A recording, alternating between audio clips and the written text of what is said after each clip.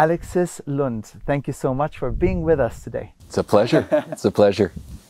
So, you've worked extensively with teens and young adults in Scandinavia, and you are best known for your work supporting those who have experienced addiction to pornography.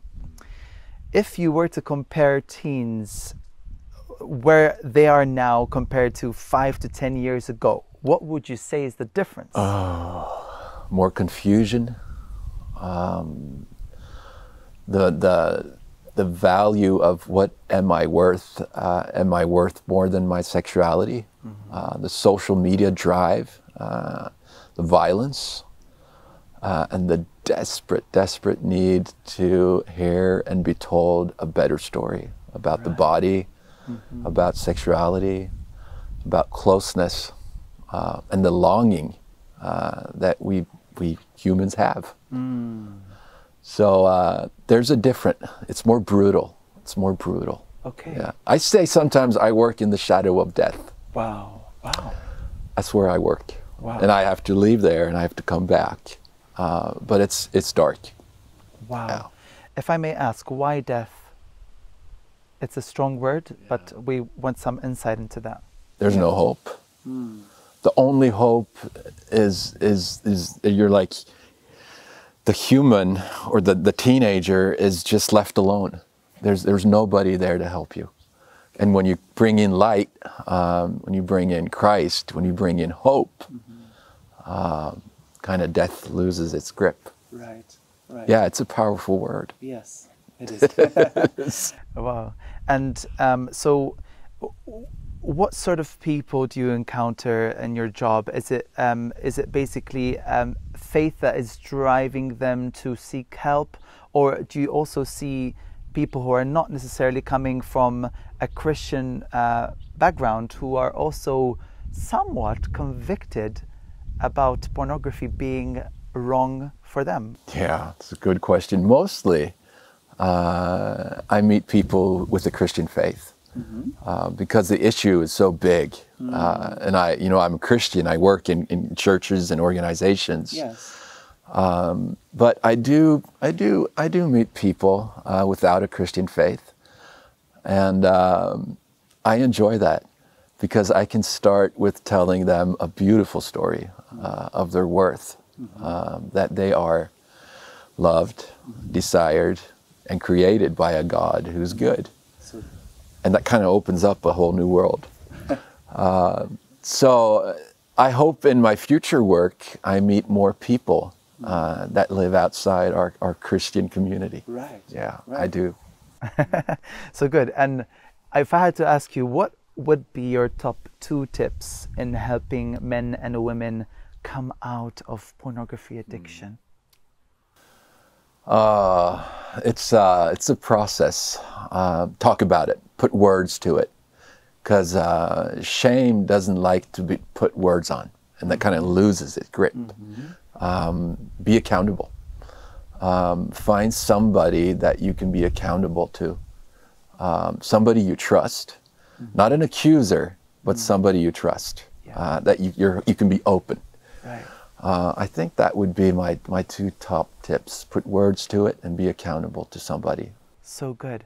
And Alexis, what happens when somebody has been in a position where they have trusted somebody and that person didn't do a very good job with uh, mm-hmm. protecting their confidentiality? Have you seen some of these scenarios and how do you support people who have been hurt in this way? That's a vulnerable question. It, it's you know, destruction and disappointment uh, from from Christian leaders is a big issue in the field I work with, wow. uh, sexuality. Mm-hmm. Um, and we kind of have to go to the to the very center of of being human and being loved by a God that is good, because mm. uh, mm-hmm. there is hope. Mm-hmm. Uh, we can't put our hope uh, in other people because our hope is higher. Right. Um, and this is this is hard. This is difficult if if if somebody experiences that. Um, but don't lose hope. Amen. Don't lose hope. Yeah. Because uh, we're we are created mm-hmm. uh, as men and women to be barriers or carriers of God's image. And that's a massive, that's, that's a massive issue. Uh, and we have to stretch towards that. Yeah. Um, from your experience uh, with Christian leaders, people who are in ministry, people who are expected to kind of have higher standards of Christian living, um, do you think that many in leadership are secretly struggling? Uh, perhaps if they're men, they wouldn't speak to their wives because they feel too vulnerable. Can you tell us a little bit about the reality behind the scenes at, from your experience? Well, I know. Yeah. I know this for a fact because mm. uh, they speak to me. Mm. Um, and I encourage them to, to go deeper into their issues, right. uh, into their longings. Uh, I encourage them to, uh, to seek uh, therapy, uh, help. Okay. Okay and kind of widen up their, their issues. Why, why do you still struggle with this? Because mm-hmm. uh, there's nothing I can tell you that you don't know. Right. And that's a big issue. Mm. Uh, and the consequence of, uh, of getting exposed uh, with unfaithfulness, uh, which, which this is, mm-hmm. you know, is enormous. Uh, it's extremely shame, shame driven, this whole behavior. Yes. So uh, I, I, do know that for a fact, and the Barna report on pornography uh, tells us this uh, from stats from the USA, and I don't think we're any different in, uh, in Europe. Uh, so we, we need to find a language, we need to find uh, groups, support, we need to find safe environments where we can be open. Right. where we can live transparent. Mm-hmm. I need to live transparent mm-hmm. in my life because you know I experience triggers, uh, things. I need to have boundaries mm-hmm. um, because uh, the love I have for my wife, my wife, uh, it endures in in in truth. Yes. So if we don't live in truth, mm-hmm. something's right. going to happen. That's right.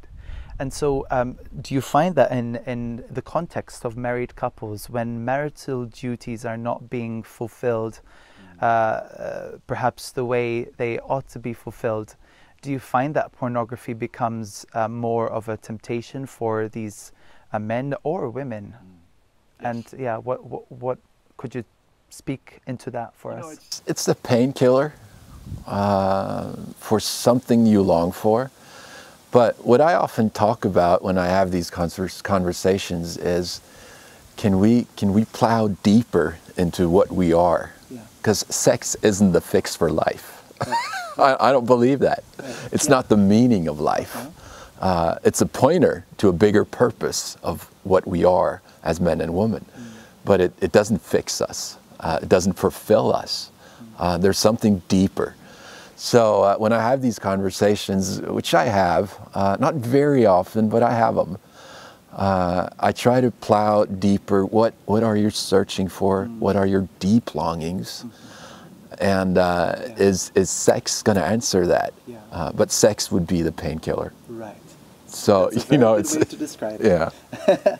and what message would you bring to trainees, lastly, at IFTCC Learning who desire to help uh, many in the area of sexuality and gender? Oh, that's great. Yeah.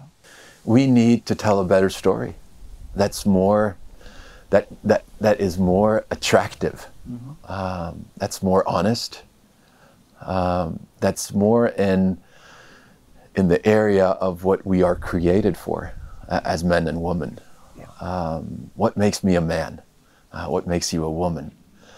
Uh, and we we need to go back to creation and see what happened there, because okay. Uh, that was that was beautiful. Uh, when the man uh, expressed a longing and uh, and the God Almighty, He created the crown jewel of the creation, the woman, mm. uh, to answer this deep, deep longing yes. in the man, mm-hmm. and uh, not only sexual. Uh, there's something deeper, mm-hmm. and there's so many areas that we can talk about when we uh, when we talk about our differences as men and women, but I think there's so many answers already in creation, and we're not even halfway there. Wow. Wow. Yeah. So you're taking us back to the Genesis account. Yep. yeah. That's wonderful. Thank you. This was so insightful. And we look forward to hear about this better story during uh, your presentation uh, this year as well at the IFTCC conference. So thank you, Alex. Thank you.